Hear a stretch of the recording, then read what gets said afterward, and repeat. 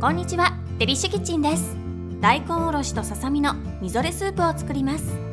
まず大根5センチはすりおろしましょう。豆苗2分の1パックは根元を切り落とし3センチ幅に切ります。ささみ2本は斜めに包丁を当て薄く切りましょう。酒小さじ1をかけ片栗粉小さじ1をまぶして揉み込みましょう。鍋に鶏ガラスープの素小さじ1分の1塩小さじ3分の1胡椒少々を振り水 400cc を加え煮立たせます。